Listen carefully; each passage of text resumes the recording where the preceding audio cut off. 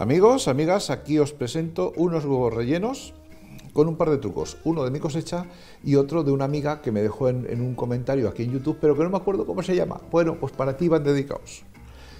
Ya nos enteraremos cómo te llamabas. Espero que los veas y me lo recuerdes porque perdóname, perdóname, que se me ha olvidado, se me olvidó apuntar el nombre y ya en la vorágine de los comentarios se me ha perdido.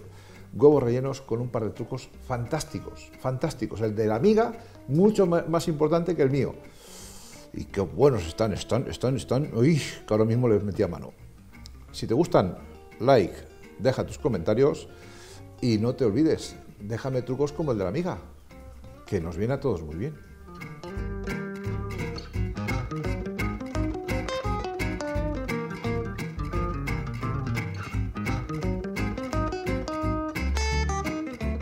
Amigos, amigas, aquí tenéis el libro de cocina familiar. 200 recetas de las que comemos el día a día. 60 ¿eh? días seguidos sin repetir receta. Aquí tienes para, disfrutar en la cocina. Y bueno, pues es un recuerdo de, este que os habla, que, fin, que estoy contentísimo de la cantidad de libros que me estáis comprando, que estoy muy orgulloso.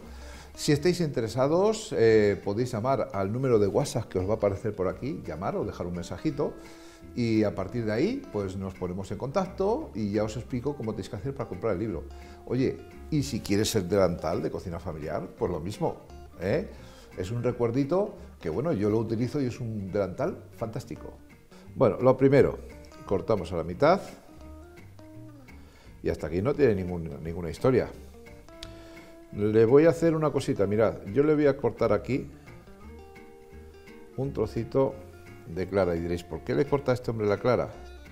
Bueno, pues no os preocupéis, que esto lo vais a enterar enseguida, porque ahora ahí apoya recto. Si no le cortamos así, si no le hacemos un pequeño plano, el huevo baila en el plato, se va para todos lados y como está relleno, ¿eh? pues así no falla. Todavía este no es el truco, este es uno de ellos, pero este no es el truco de, que, que me enseñó la amiga mi seguidora fiel de, YouTube. Todavía no lo he dicho. Os voy a mantener aquí en tensión. ¿Qué truco, qué truco nos espera? ¿Qué truco nos espera? No será, este no es. No, no, este no es.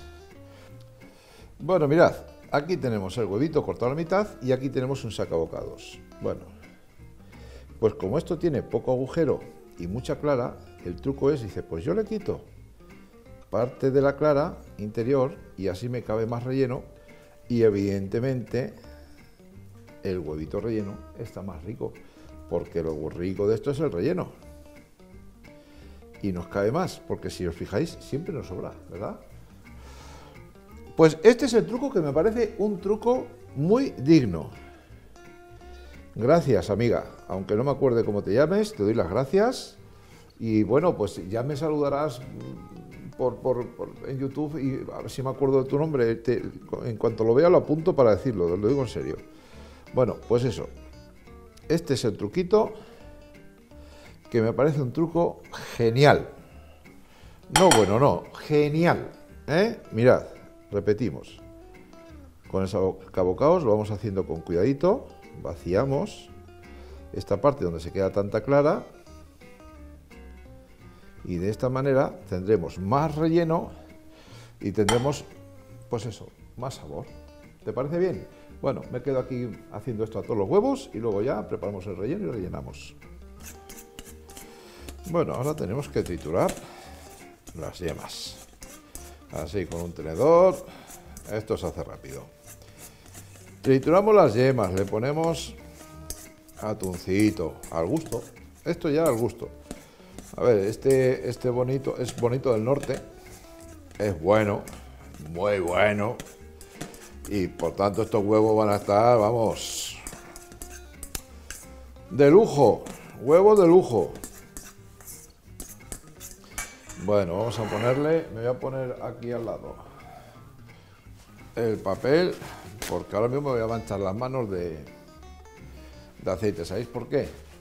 Porque el atún es bueno desmigarlo bastante para que se integre bien con la, con la yema. Y yo creo que esto es mejor hacerlo así con la mano. ¡Qué atún! ¡Qué atún! ¡Mamma mía! ¡Qué bonito del norte! Yo pensaba que el bonito del norte era yo. Pues no, el bonito del norte es esto. Claro, yo decía, bonito del norte, bonito del norte. Digo, ah, tampoco hace falta que estéis todos los días nombrándome. Pues no, se referían a esto. El bonito del norte. Qué cosas, ¿eh? Bueno, a ver.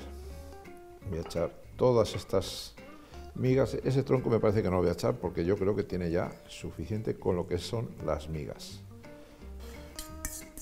yo creo que así es suficiente. ¿Por qué? Porque esto ahora le vamos a poner mayonesa y lo único que me faltan picar unas aceitunitas. vamos echándole poco a poco. Esto ahora tiene que empapar, la mayonesa tiene que empapar la, yema de huevo y el atún, que más o menos, si os fijáis, ¿eh? más o menos lo tenemos. Yo creo que está un poquito seco. Pero primero le voy a echar las aceitunas, no sea que me vaya a llevar alguna sorpresa. Un segundito. Cojo mi tablita y vamos a picar unas aceitunitas. Bueno, aquí tengo un poco de cebollino para ponerlo luego de adorno.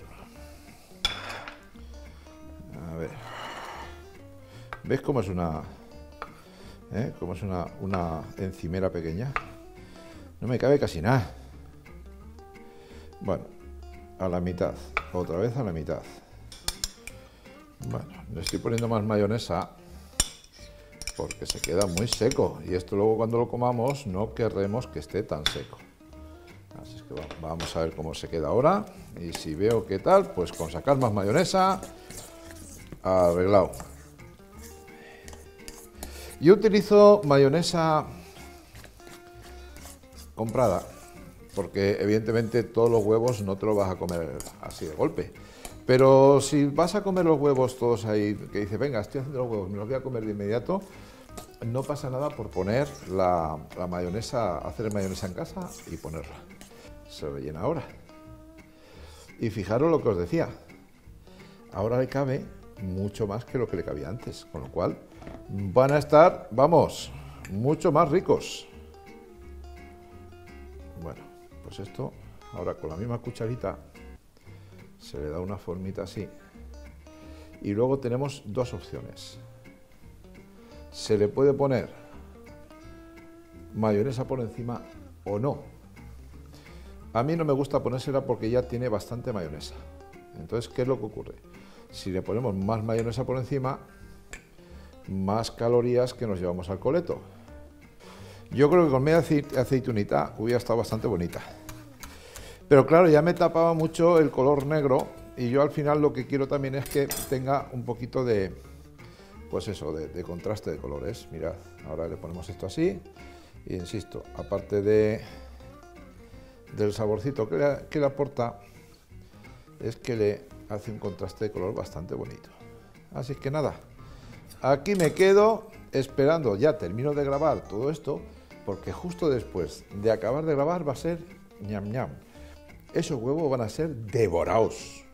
No tengáis ninguna duda, porque además tiene, tiene una pinta de estar de ricos.